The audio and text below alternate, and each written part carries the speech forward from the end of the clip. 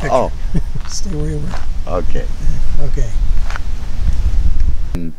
Jim Craig, our fearless leader, is the Martin repairman for the Midwest, and I've taught here about 28 hours, and I it was great teaching here because I got an open stage there, and she was the queen bee bartender, and we got to be friends, but she was busy pouring all the time, so I didn't get to know her very well, and then. Oh, We- oh, stop. Open your eyes. and I was a lowly musician singing for my supper. And we got to be sort of friends. And then I met her occasionally outside bars.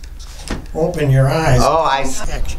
Okay, if you look over my shoulder, you'll see that lifeguard tower over there.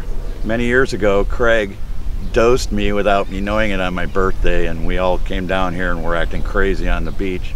And I climbed up on top of that thing because the sun was going to come up, and my buddy Rod Zipper wanted to join me, so I moved over, only I moved over a little too far and did a header right into the sand, and then proceeded to spend the next half an hour or so screaming at the sun coming up, daring it to come up, daring it. That's the story.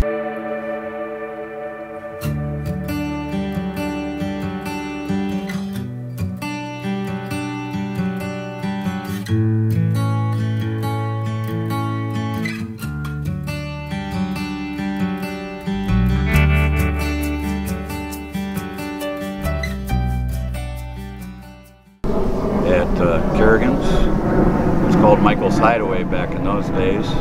A friend of mine, gal by the name of, want to wait, Authority with educators, with teachers, with girlfriends, with boyfriends, with your dogs, your cats. I don't know about gerbils. I don't think.